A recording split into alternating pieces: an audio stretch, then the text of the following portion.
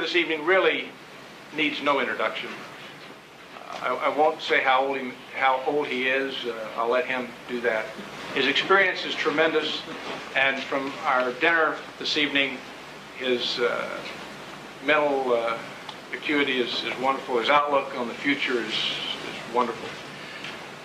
One story I would like to tell that uh, when I called him and asked him if he would speak,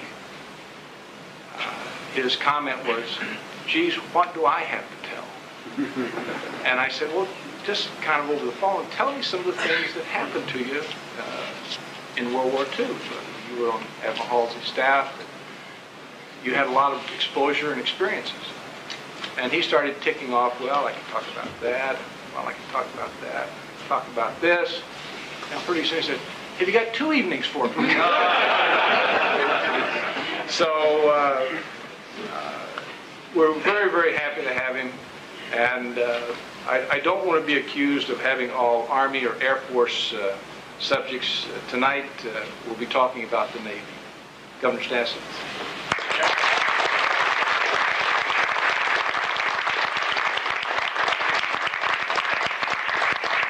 Thank you, Don Patton. Thank you. Not the first time that I've been introduced with a false statement. I'm sure you all know that, you all know that uh, I didn't say if he got two evenings. Matter of fact, I still don't know just how he talked me into it six months ago because literally I never have talked about Admiral Halsey and the Navy. I've always been uh, too busy on things of the future rather than go back over those things.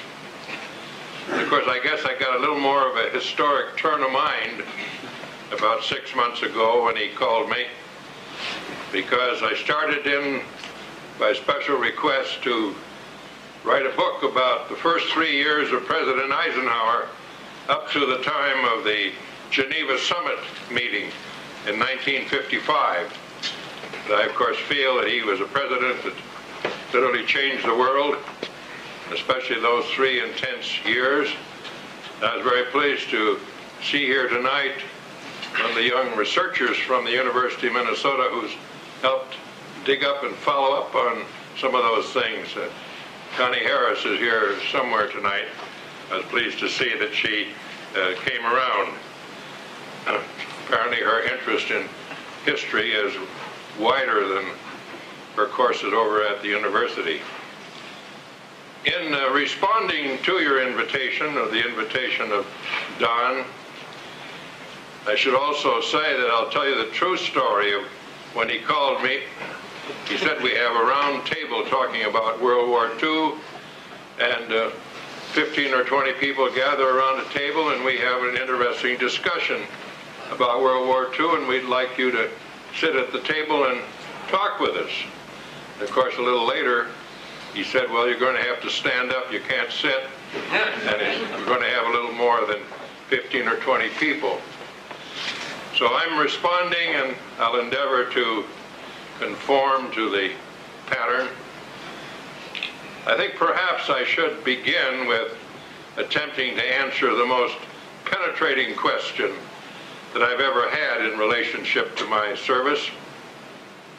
A fellow said to me, how did it ever happen that a farm boy from Minnesota, as far away as you can get from both the Atlantic and the Pacific Oceans, who never had command of anything bigger than a rowboat, got on the staff of Admiral Halsey? Well, literally, I never knew the answer until just a few years ago when I did get a bit of time and started to look at some of the Navy history books. And this is apparently the way it happened. Of course, when Pearl Harbor hit, I was in my second term as governor of Minnesota. But I was not only a very young governor, I was also a young reserve officer. And when Pearl Harbor hit, inside of me there was only one thing I could and should do, and that is go on active duty. And I was not only then governor of Minnesota, I was chairman of the national governors and been working and cooperating on the matter of the preparations for mobilization and so forth. And I told uh, Secretary Stimson and Secretary Knox that I had decided that I would resign as governor and turn it over to the lieutenant governor and go on active duty. Well, shortly after I went on active duty, I was given orders to report down to the South Pacific to Admiral Halsey. And I didn't know just how that happened, although of course at the time the legend was that if you wanted duty in the Atlantic, you should ask for duty in the Pacific. And I had simply said, I'll serve wherever you feel you want me to serve. So I flew down to the South Pacific and made my regular report to Admiral Halsey, who was then down in, at the base in Noumea, New Caledonia. And he looked up at me and he said, are you here to work? I said, yes, Admiral. He said, that's all I want to know today. That was my introduction to Admiral Halsey.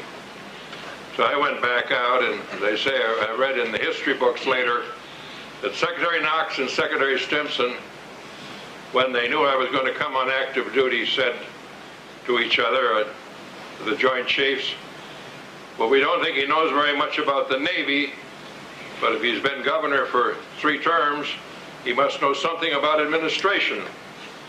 And they were talking over then the fact that down in the South Pacific, they had a command then under Admiral Halsey, who was under Admiral Nimitz at Pearl Harbor, bordering on a command under General MacArthur in the Southwest Pacific, who was then under the Joint Chiefs in Washington. And they had Australian and New Zealand forces also involved in the area. And they thought they had a pretty complicated administrative picture, and so they didn't know how it would be handled or what would happen, but they decided to send a young governor down to active duty down to Admiral Halsey. As I say, I just learned that background of how they happened to send me down there in the naval history books a few years ago. Well, after he said that's all I want today or something of that kind, closed off that initial reporting interview in his brusque manner, I went back out and one of the officers said, uh, there's an extra bunk up at the Admiral's house up here on the hill, and uh, I understand that you're supposed to go up and take that bunk. So the Marine and the car that brought me down from the airport took me up with my bag up the hill and showed me that room and the, the Filipino in charge of the mess said, we serve breakfast tomorrow morning at 6.30, we'll serve dinner tomorrow night at 7, we don't serve any lunch. So that was my introduction, and then some of the other officers came along and they said, if you care to get out on the porch around 6 or 6.30, the Admiral sometimes stops there before we go in at 7 o'clock sharp for dinner. I did that, and in the course of a sort of a kidding and rambling conversation, the Admiral suddenly shot a question at me, how come you're way down here in the South Pacific? I said, because I've received some orders to report to you, sir. There was a little silence, and we went on to other banter, and then a couple other serious questions. And the next day, some of the other officers there said, well, you passed the first test. I said, what do you mean? Well, he says, if somebody reports here and he asks them that question, how come you're down here? And if they say, because we thought you were a great admiral and we wanted to serve under you or something like that, he usually sends them back to some other command. but he doesn't like that kind of language. So he said, you passed the first test. Of course, I passed it simply by being accurate in my response. And a few days later, after I was getting a little acquainted with the command down there, he called me in. He said, Commander, I was then a lieutenant commander. They decided when they sent me down there that I should have that rank in order to fit into the staff. He said, uh, administration is now being handled in my command by a very good Air Force officer, Air- Navy Air officer, and uh, he's a regular Navy. He's too competent to be assigned to administration. So he said, I'm going to move him over to air operations because the air operations officer is ill, is going to be sent back to the United States. So you step into administration. I said, yes, Admiral. And of course, short time later, he did appoint me as Assistant Chief of Staff for Administration, and that's where I served in the rest of the war. Then, after a little bit, I'm going to skip over things and I'm going to zero in on one of the real major events of that war in the Pacific from the standpoint of any of the commands. And then, as I say, open up the maximum of time for such questions that you may wish to ask, and I will endeavor to respond to them. And of course, I do know that if I get off the beam and too inaccurate in my responses, we have Dr. Deutsch here, one of the great historians, who will straighten me out on the mistakes that I made. Admiral, after I was with Admiral Halsey a few weeks, he said, we've got some operations that sort of bridge over into the Southwest Pacific. And he said, uh, I've never met General MacArthur, so I want to go over and pay my respects and we're going to talk about the future operations. He said, I'd like you to come along, but sit in the back of the room and don't say a damn word. But when we come back, I want to see what you think of the situation. And that was my first assignment directly with the ad- off- uh, Admiral, apart from the matter general uh, administrative work for the command. So seven of us flew over to Brisbane in Australia and met at General MacArthur and six of his officers. We had very intensive sessions about the two commands and the way in which they ought to work together when they go over the line between what we call the Nimitz zone to the MacArthur zone and so forth. And, uh, and of course, they talked a lot about that interrelationship and about how you ought to handle the Australian, Australian forces and the New Zealand forces and so forth, and about different circumstances. And we had these intelligence briefings by the intelligence officers of both commands who gave the whole picture of what they knew about the locations and positions of the Japanese and so forth. I often wish that I had a sound motion picture record of that conference because MacArthur would get up and stride up and down, erect, stately, stem of his pipe would point to places on the map and he'd recall certain things that the intelligence officers had missed and he'd speak in flowing, beautiful English uh, with concepts of how to envelop this plank and how to hit the force here. And then in the middle of it, as Admiral Halsey was sitting there in the front, sort of hunched down and that old chin of his sticking out and those bushy eyebrows almost covering his eyes. And suddenly he said, but God damn it, Mac, why don't we hit the bastards over here? he pointed to another place in the map. And that was the beginning of a terrific rapport between the two of them. Because the fact that his first comment was very direct and a matter of a way of attacking. And that, of course, was one of the great characteristics of his thinking of Admiral Halsey. Well, then, from that time on, when we got back to our headquarters in Brisbane, Admiral called me in and said, what do you think? I said, well, I said, he's a brilliant general. He said, I agree. He said, I think he respects you and I think you'll get along all right. I agree. At that time, up to that time, I knew, of course, from the top secret traffic, the Joint Chiefs were considering whether they go directly up toward Japan, bypassing the Philippines, or whether they go in first and take the Philippines back from the Japanese. And then there was a question of whether you put a base into Formosa, and just how do you approach the mainland of Japan for victory in the war. And of course, at that stage, we were down in the extreme southern air, area of South Pacific and Southwest Pacific.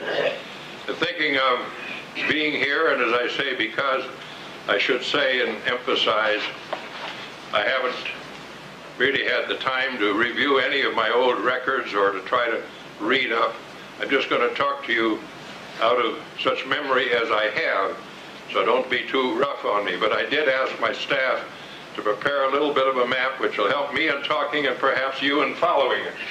So we've got, naturally, I don't have a Navy staff anymore. I just have a very amateur staff. But uh, we've got put together a kind of a map. I think maybe, Don, you better help me pull this over a little close, pull the easel over a little closer, it'll help.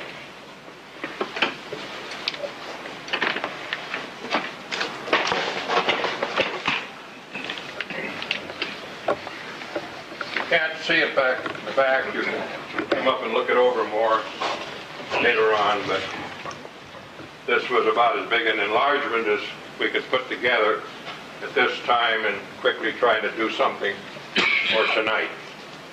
But we, of course, he was way down here in Brisbane. We were over here off this map in Noumea, New Caledonia, at that point early in the war. When, and what, what I've indicated here is what the situation was in October 1944, which was quite a while later than the conference that we had, the opening conference, the first time that Halsey and MacArthur uh, talked together.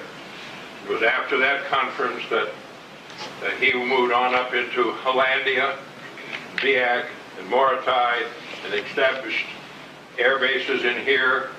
And we went around the Japanese at Rabaul over to Manus Islands.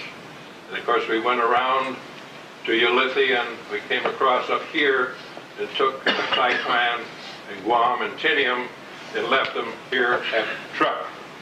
And of course, this map right away and this discussion indicates one of the really great principles that Admiral Halsey very early developed. He went through the Tarawa operation with the terrible loss of life in trying to dig the Japanese out of those rocky places on Tarawa. And he made up his mind at that time, he said, let's leave them to rot on those islands and go around them. He said we should keep island hopping where they're not until we get to, Jap to Japan, and then, of course, we'll have to kill them all. That's the way he approached it in his very blunt language. And that matter of bypassing and going around, one of the first big things, of course, they had a tremendous base down here at Rabaul, and had about 100,000 men dug in there. We went around them to Green Island, Manus Island, and of course with the Seabees immediately built the moment we took command of, the, of an island that was substantially, and then they did a similar thing at Hollandia. There were still Japanese here in the jungles, in fact, when the war was over. And then an air, air base here at Biak and air base established Morotai. And that was that early stage the discussion. I said, Admiral, in my judgment, MacArthur will never agree to bypass the Philippines. I said, I watched him, I listened, I thought, and I know there's a lot of this talk about going right up this way. The Joint Chiefs have some other thoughts about going to Formosa and then up to Japan. But I said, for one thing, I'm very sure that he will never agree to bypass the Philippines. Secondly, I'm sure that President Roosevelt will never overrule him, regardless of any Joint Chiefs of Staff studies. That he will want to go through the Philippines and the President, as Commander-in-Chief, will never overrule him. The Admiral said, uh, that's very interesting. He says, how do you reach that conclusion? I says, well, you asked me just sit and listen and look, and said, I've been doing a fair amount of that in politics, and that's the way I size it up. And uh, he also said, well, you're not even a Democrat, are you? He said, well, how do you size up Roosevelt that way? I said, well, that's just a part of what I did. well, time went on and we made these kind of advances. And then we came to the point where the Admiral, of course, was told, as he really got the South Pacific down here, a matter of Guadalcanal and Bougainville, and got that area pretty well cleaned up and got Rabaul cut off sort of and circled by getting up in here with the Seabees establishing some fine air bases in a hurry. So then they told the Admiral that when Admiral Spruance would need some relief, he was then in command of the fleet up after Midway and up that way. He said, when that happens, you're going to go out and take command of the combat fleet. So the Admiral got us together. He used to have seven officers, the seven senior officers on his group that had a sort of a special consulting group. And I was the only reserve officer among them, and the junior, of course. But he talked it over, and he said, if I'm supposed to take command of the fleet, he said, I want three of you. He said, uh, Doug Moulton, he just said Doug, of course. I'd like you, and I'd like Jack Horner and Harold to go up and join Spruance for the operation that's coming up on taking Saipan and Guam and study the situation and see what we need when we take command of the fleet. So the three of us, Doug Moulton, one of the greatest air operations officer that there was in the whole war, and later became a vice president of U.S. Steel after, after the war was over. Jack Horner, a terrific officer, and me tagging along, went out to join Spruance for the amphibious landing and taking over of Guam and Tinian and Saipan. That was about in June of 44.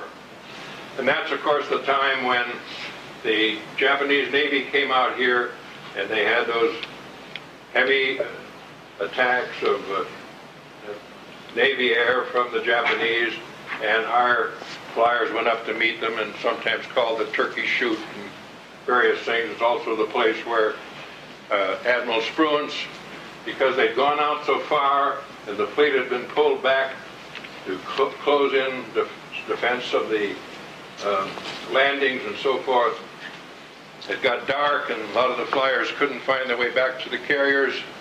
That was that dramatic moment where in the dark, spite of all the question of submarines and so forth, Admiral Spruance gave the signal, turn on the lights.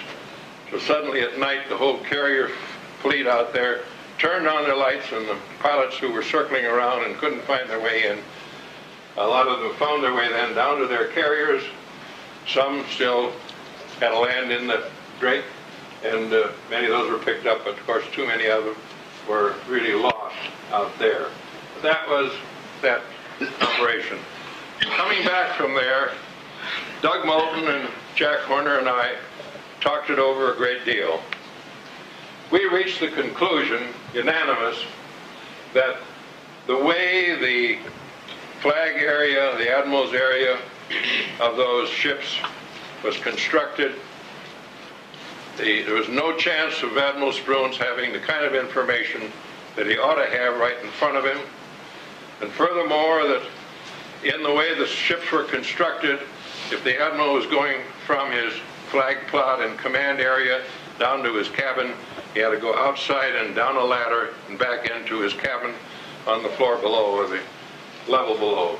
And said that doesn't make sense. So as we talked it over, flying back from out there and back down to the South Pacific, we came up with a detailed plan. And the plan was that we would take the flag plot area and the radio area up on that command level, open them up, take out the bulkhead in between, and make that one big command and plot room. And that when we talked to Ham Dow, who was our brilliant communications officer, and he said, I go with it. The only thing we need up there is the TBS, the talking radio, because I want to just build up the kind of radio installation that I want down in the regular radio room of the New Jersey. That was going to be our battleship, our modern command ship. And we came up with the idea that from the corner of that flag plot up there, there should be a hole cut through, which then took directly down to the admiral's cabin, just a few feet from his bunk in his cabin, and that we'd put in a light aluminum ladder, which would go up to the ceiling and you could pull it down, and then the admiral could go up and down from the command area down into his cabin so quick and be called back up and up and down and so forth. Because of course we knew at that time as you're operating out there, you never know at what time of day or night bogies are approaching or the submarines are sighted or whatever happens. And with that situation, we had our complete plan with Ham Dow's revisions from a communication standpoint. We laid it before Admiral Halsey and talked it over for a day. And the Admiral finally said, uh, with a few of his own modifications, your plan is approved. And then he said, uh, Harold, uh, Doug and Jack are completely tied up with these operations. So you go up to Pearl Harbor to the Navy yard up there and you get the New Jersey prepared for my command on the basis of the plan which I've approved. I said, yes, Admiral. And just as I was starting out the door, he said, and by the way, he says, don't let anybody with less than four stars stop you from getting that put into effect. I looked at him and he had a big grin, but he'd said it, and I started out to Pearl Harbor. And of course, from the South Pacific up there was quite a flight. I got up to the Navy Yard, and they called a big conference. Must have been nine or ten of the Navy Yard, rear admirals, vice admirals, conferring, and I had, of course, had brought up with me about 10 copies of the plan we had worked out, and I explained it and gave them all copies. Then they started around the table saying, well, of course, we all know you, you can't cut a hole in that deck. That's against Navy regulations. It's just outrageous because if a bomb comes right down and down that hole, well, it'll wipe out the whole cabin down below and so forth.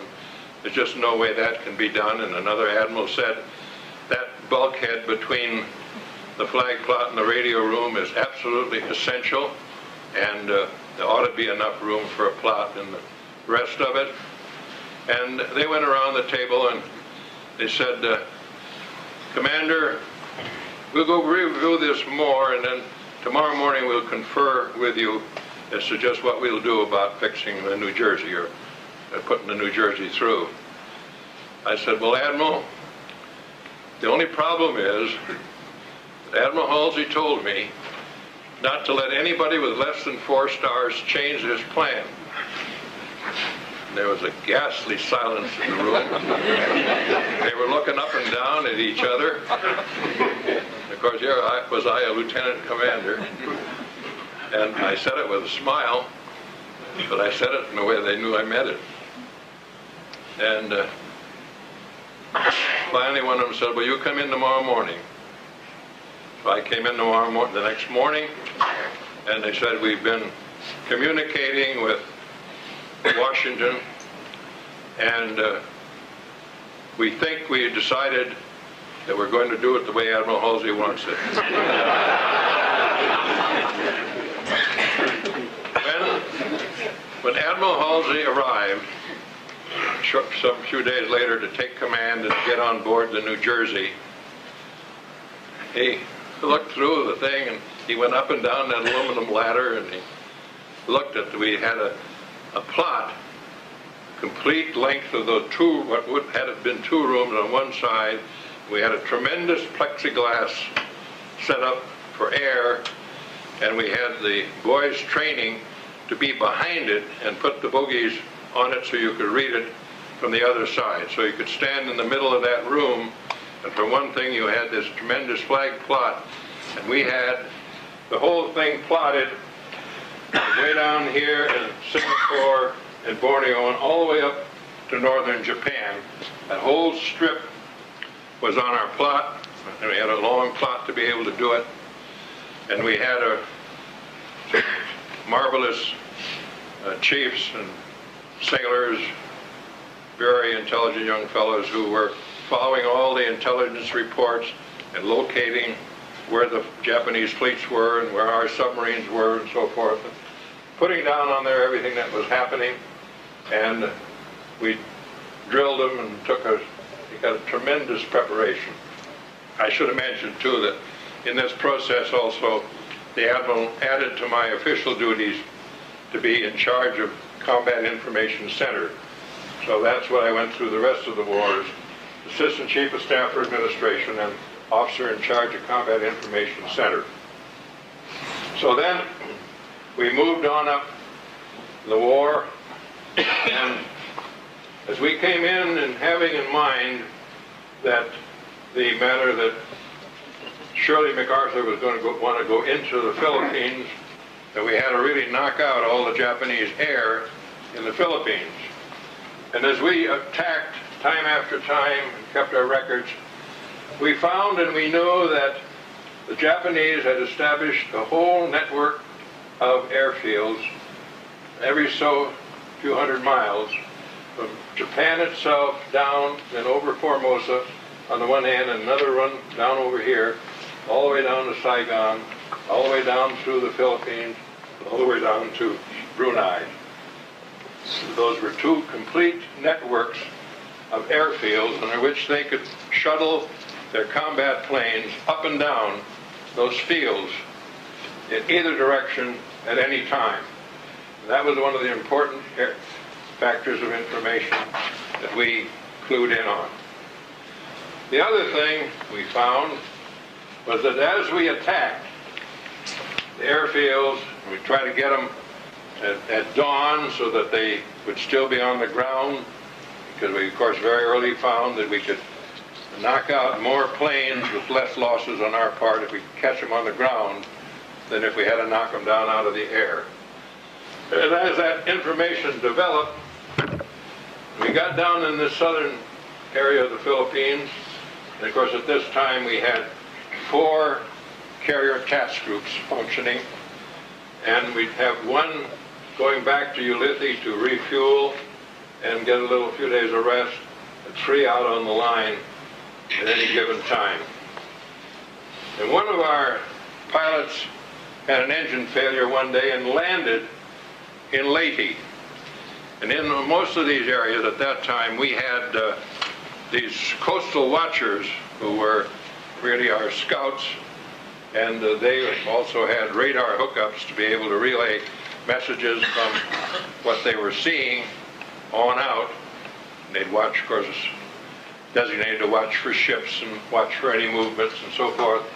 Well, as this pilot had to make a forced landing one day, why one of our scouts got a hold of him right away and took him out into the jungle and, and he told him that Leyte was really undefended with practically nobody there on the whole of Leyte. And Leyte, this little island area that has a bridge over to Samar and uh, the sketched out for this pilot just where the few little units were and what was happening on the other side of that bridge and so forth. And the pilot came back to his carrier then as he, they brought him out and we had of course the way of sending in to the edge of the uh, Philippines for him and picking them up and bringing them back. That regular rescue service was highly organized. When he got back to his carrier, he began to send the reports over of what he'd seen and then what he'd heard. And it was so significant, we had him transferred over to the New Jersey, the flagship. And the Admiral and the Chief of Staff and the Air Operations Officer Moulton talked to him in depth looked at the pictures they had. We did a lot of photography on every attack. And we're thinking a lot about it. The plan at that time was that General MacArthur, in his first move, was going to land down here in Mindanao. And we also were then to land, take over Yap and Peleliu. And as we listened to these reports and looked over our photography, uh, Admiral Halsey said, these plans ought to be changed. And he said, we ought to do something about it. And say, later on, he, uh, coming to one of the historic cables, but later on he was asked after the war, and it's, this is in the history books, he said, is it true that Admiral Carney and Commander Stassen recommended to you to send that message to the Joint Chiefs? He said, recommended hell. Stassen's the only junior officer that ever told me it was my duty to send a telegram. because that, in a way, is what I said. I said, Admiral, nobody in the whole world anywhere knows what you now know about this Leyte area, and nobody knows as accurately the way they're prepared to defend Yap and Peleliu, the way they're dug in, and the kind of casualties you take in those places. So, very well, he said, draft a message. And Admiral Carney, Mick we call him, a great Irishman, and I drafted the message back to Nimitz, and from him it went on up to the Joint Chiefs of Staff and down to MacArthur. And they were having a conference at the summit up in Ottawa. Uh, Winston Churchill and President Roosevelt and so forth. The Joint Chiefs were up there. And we didn't know at the time, of course, but that cable, as it went on up its way, came up to them at Ottawa. You find this in the history books. And they got it just before they were supposed to go into dinner.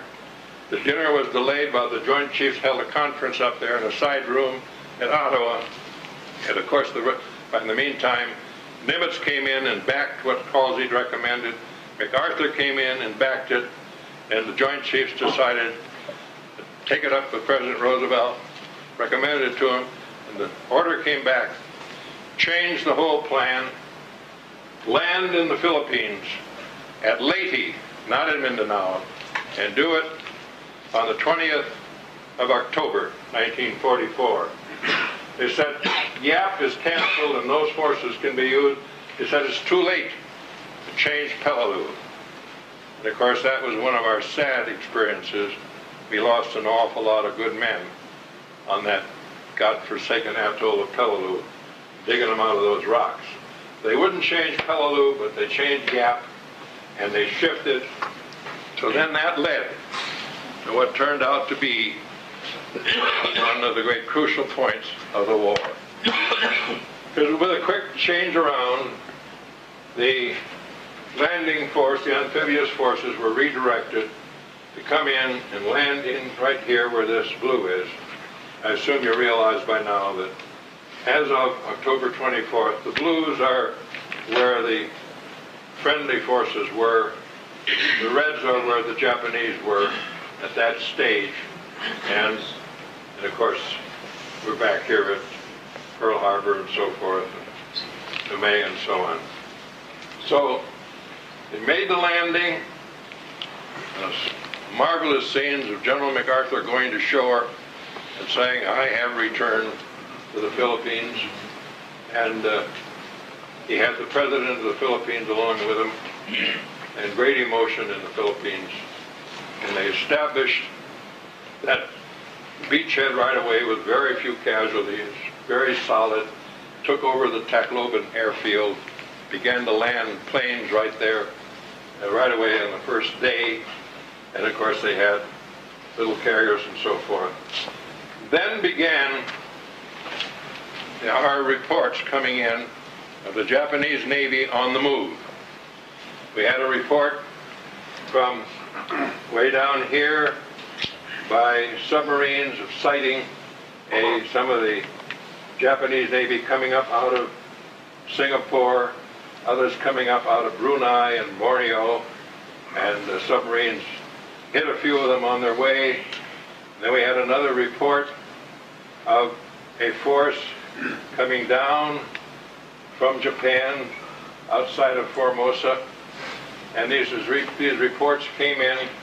We, of course, were setting up the disposition of the fleet and the forces. And then, as the reports continued, it became clear that quite a few of these were going to come in down here, try to come up at Leyte this way.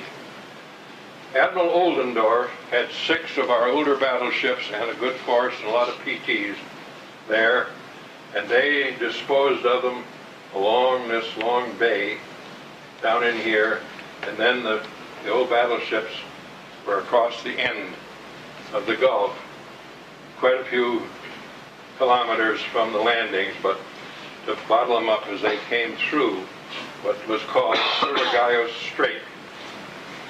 And as we followed that, in the meantime, this force came up had the two big new battleships in it, the pride of the whole Japanese Navy, tremendous new powerful battleships.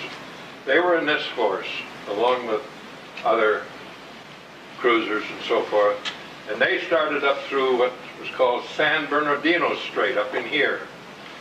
We gave them a tremendous attack by air on the uh, 23rd and 24th of October.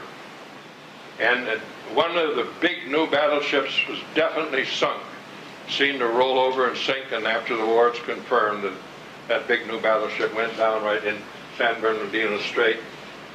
And the pilots reported and had pictures of hits on a lot of the ships. And the, the force up here coming through reversed and started back out. And then I should fit in now that thinking in terms that we were going to go up the Philippines, we also knew that MacArthur's plan all the time was that he would come up and take over Mindoro. This is the island of Mindoro, just south of Manila. He would capture that island, solidify it, put in airfields, and then go on to take over Manila and the rest of Luzon and the rest of the Philippines. We had been analyzing for a long time how we would give effective support for MacArthur coming up to Mindoro. It had been subject of intense study between all of us and with the Admiral, with Admiral Halsey, because we, of course, I might say, and this is also in the official records, we expected, anticipated, and planned for and overcame the whole kamikaze business before it was generally recognized in the headquarters and the Joint Chiefs that that was a thing that was done. And this was the way that came about. Admiral Halsey said very early, the way they'll come out of these caves like a Tarawa and just commit suicide in a kamikaze rush, says there's no reason why that will only happen in the Army. You'll find that the Navy will do it too, and their Air Force will do it too. It's a part of the whole mystique of their religion, the whole matter of their key to going to their heaven by dying in battle, and that we've got to plan that they will do that kind of a dive. And of course, in his first battle here, a plane dove into the Princeton, one of those kamikaze type uh, dives. We lost the Princeton and almost all the personnel on a Princeton carrier right in this early part of this battle. So that we felt that if they put their carriers halfway between Mindoro and Cam Ranh Bay, or halfway between Mindoro and Hainan, they had airfields both places, and they hopped, skipped their kamikaze planes, starting at the base, Cam Ranh Bay or Hainan, land on the carrier, refuel, and then come in on their one-way trip for our transports and our ships.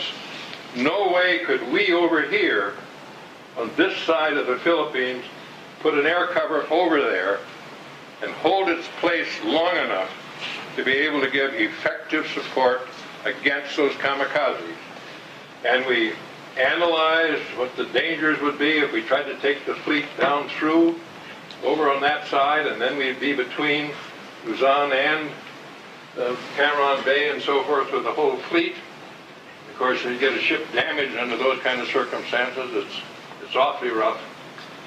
And we were analyzing and analyzing.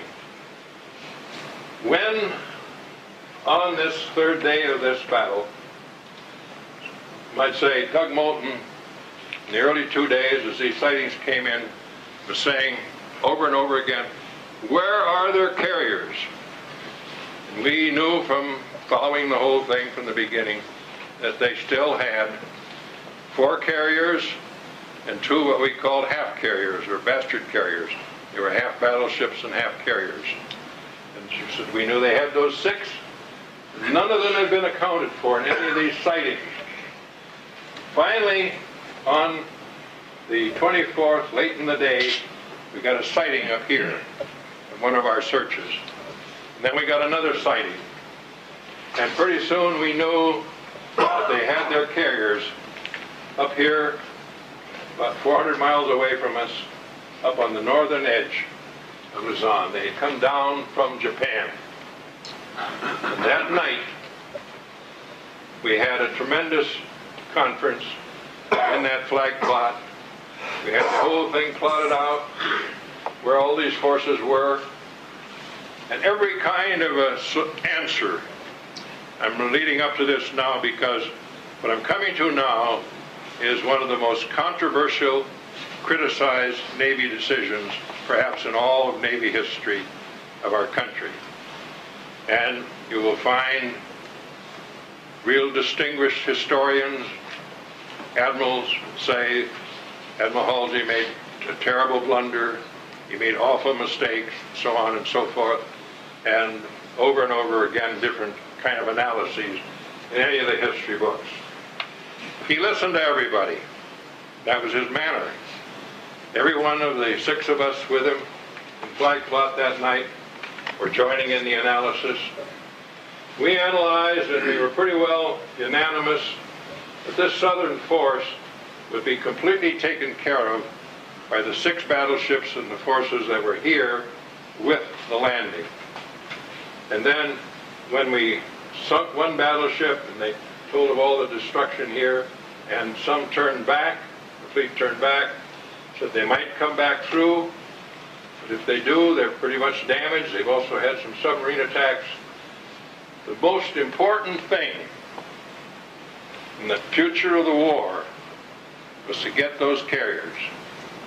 And after about a solid hour of considering dividing the fleet, doing this, doing that, different kinds of attacks, Admiral put his finger down on our flight plot, up at our plot here, and said, "We will run north at top speed and put those damn carriers down for keeps."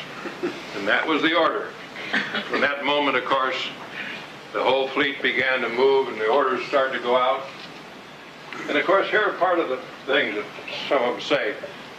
Uh, and we, earlier, before we had successfully attacked these battleships, we had issued, the Admiral had issued a preparatory order. It said, when ordered to do so, form a battleship line, four in the front, across San Bernardino Strait, and the carriers behind you, and that's the way we'll greet them when they come through. But when this force had been damaged and he sighted the carriers, then the talk, should you leave the battleships here and run the, the uh, carriers north? And it was then talked through and agreed. The only way we could be sure of sinking those carriers in the morning would be to run right up to where we knew they had been at top speed and to run at night with carriers at top speed to meet some battleships potentially. And if they had started to come down, that would be one of the most foolhardy things to do. Because of course carriers have real no defense if they get within range of the guns of battleships. So we formed the four battleships in the front. The carriers divisions were ordered to pull in behind us and to make a fast run up to where those Jap carriers had been sighted. Admiral McCain and his particular task group were on their way back down here to Ulithi to refuel. They were then also given an order to postpone the refueling and come back down here to back up the the San Bernardino Strait situation. Then, of course, as we ran north, the questions came up that indicated that a part of this force had come through San Bernardino Strait and it started down toward Leyte Gulf. And they tangled with some of our little Jeep carriers and some of their destroyers that were with them.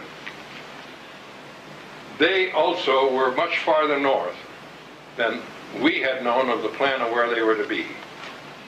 And when that report began to come, naturally it was troubling. But by that time, of course, we were almost up to where the Jap carriers had been. And at daybreak, just before daybreak, we launched 360 degree search and then launched our attack planes to wait. And as the search went out, they located the flights, uh, located the carriers, and the attack began.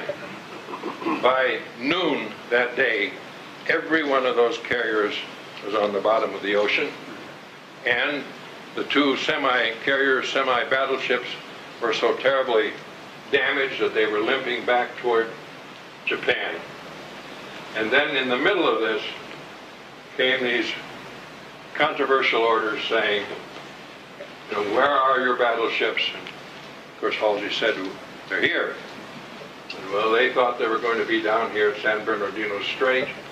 And uh, when the, that thing came up, and Halsey turned the fast battleships around to run back down toward San Bernardino Strait. Now, the key thing, of course, it also then became a, a great matter that still goes on of, was it a mistake to have Admiral Kinkaid here under MacArthur's command and Admiral Halsey here under Nimitz's command, a divided command right in the middle of that terrific battle. And that's a whole group of arguments and questions. My point is, and my belief from that day on, is that getting those carriers was the most important thing to do that next day. And we got them. You can't get them if you stay a couple hundred miles away from them. Otherwise, we know full well, if you're going to attack a carrier force, you've got to be close up so you can really hammer them to knock them completely out. And of course, that's what was done with those carriers. And on the way back down then, and all the emotion of he being criticized, he got a message from Comminch in Washington saying, explain your tactics, which of course is pretty tough language. he sent this message back. The Japanese Navy has been destroyed and will take no more effective part in this war. That's the message he sent back. In a few hours back came this response. We do not see the basis for your conclusion. He sent back this message. Wait and see. That's the great story and its implications. As I say, it's one of the most debated group of decisions and circumstances of the whole war. But even with knocking out all those carriers, they sending planes down to Luzon over ground and without the advantage of any carriers. Uh, one of the days trying to go up to Mindoro, in a single day, kamikazes hit 11 ships, and some of them were very seriously damaged. And of course, if, if they had had these carriers left and the plane and were taken out here where we couldn't reach them, and sending them on in in those kamikazes versus our transports, I shudder to think of what kind of a ride it would have been to come up to Mindoro. But from that point on, kamikazes still put in a lot of damage. Because of course, if you take one plane with bombs and you just dive it onto a ship straight out, and the kamikaze, suicide of the pilot, and especially if you hit the right place or you hit the ammunition on the ship, you set up a tremendous explosion and you can destroy a big carrier that one little plane coming down with that kamikaze dive. And that, I think, the more the historians will finally dig in, they'll find that we were calculating on what kamikazes meant long before they were recognized at headquarters, that we were planning that Mindoro had to be the way you go up to get to Manila and so forth, and that we did wipe out every one of the last Japanese carriers that morning. And of course, some will say, well, half of our fleet could have gone up and and did it. Well, from being there, I doubt it. Then out of that, another interesting thing happened, and you read this. The Japanese were building another big battleship up in their yards at that time. And they changed it to make that one big one a new big carrier because they were stripped with no carriers. And then, by the fact that they didn't have any carriers and they rushed that one, when they brought it out of Tokyo Bay and started it out toward the fleet, one of our submarines was sitting there and got that carrier, and that's been in the Reader's Digest story, at that carrier that they, when they got one built, that got sunk. Then the other thing was that that other battleship that was damaged here and got back up to uh, their forces, to their fleets, after long repairs, it finally sortied late in the war without any air cover, and we sunk it without it ever getting a chance to shoot anybody. So that my contention is, and the reason in a way that I gave in after all these years to Don, is I believe that Admiral Halsey made one of the really great decisions that night when he said we'll run north at top speed and we'll put those carriers down for keeps. Support for this program provided by viewers like you. Thank you. Additional support provided through the Catherine B. Anderson Fund of the St. Paul Foundation. Upcoming roundtable topics can be found at www.mn-ww2roundtable.org. Production services provided by Barrows Productions.